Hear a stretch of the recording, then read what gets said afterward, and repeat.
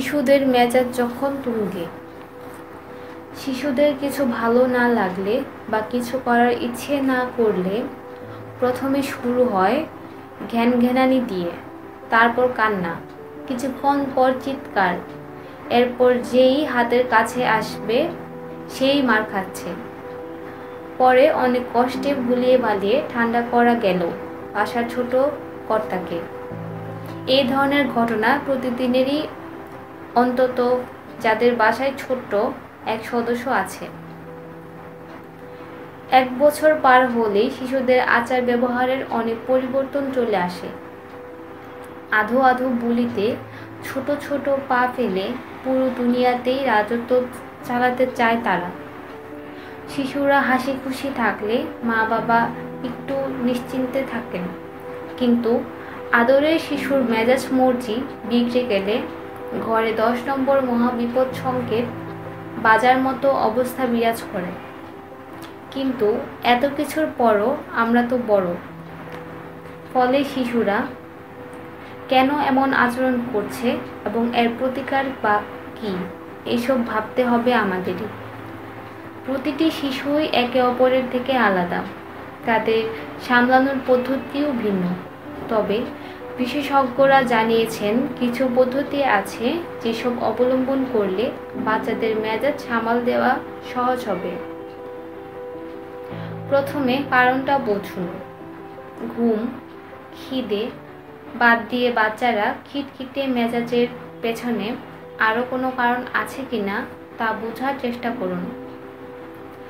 Diaper ভারী হয়ে থাকা পেট ব্যথা বা শারীরিক কোনো সমস্যার কারণেও শিশু কাঁদতে পারে। কিন্তু কোনো একটা জিনিস চাইছে, সেটা তাকে দেওয়া হচ্ছে না। কান্নার কারণ যদি এটা হয়ে থাকে, তাহলে কিছুক্ষণ কাঁদলেও ক্ষতি নেই। বরং এতে পরবর্তীতে সময়ে সে বুঝবে, কাঁদলেই সব জিনিস তাকে দেয়া হবে না। রুটিনে থাকুন ও রাখুন। শিশুর প্রতিদিনের জন্য একটি রুটিন তৈরি করে ফেলুন। যতটা সম্ভব সেই রুটিনে রাখার চেষ্টা করলে সুফল মিলবে। বিশেষ করে খাওয়া ও ঘুমানোর সময়টা। মাঝে মাঝে তো একটু পরিবর্তন আসবেই। কর্তৃত্ব ফলানো। ছোট ছোট বিষয়ের ওপর তার মতামত নিন। যদিও সে হয়তো অনেক কিছুই বুঝতে পারবে না। কোন জামাটা পরতে চাও? কি খাবে? এখন কি করতে চাও? ভালো কাজের প্রশংসা।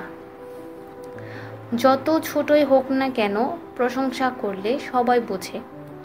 শিশু ভালো কাজ করলে তার প্রশংসা করুন, জড়িয়ে ধরুন। আরামদায়ক পরিবেশ দিন। আপনার শিশু ক্লান্ত হয়ে থাকলে ওকে আরামদায়ক পরিবেশ দেওয়ার চেষ্টা করুন। শিশু ক্লান্ত থাকলে সেই মুহূর্তে তাকে নিয়ে ঘুরতে যাওয়া, দোকানে যাওয়া কোনো পরিকল্পনা থাকলে বাদ দিন। না হলে বাইরে গিয়ে সে আরও খিটখিটে মেজাজ দেখাবে। অন্যদিকে মন দেওয়া। মাঝে মাঝে কোনোভাবেই শিশু শান্ত হতে চায় না।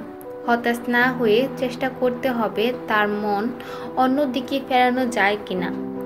ঘরের বাইরে নিয়ে যান প্রয়োজনে। আপনিও থাকুন শান্ত।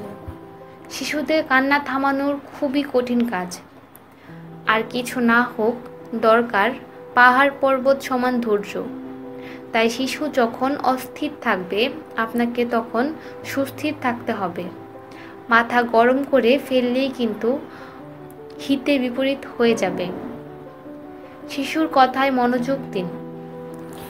বেচারা ছোট্ট মানুষটা অনেকক্ষণ ধরে আপনাকে কিছু বোঝানোর চেষ্টা করছে।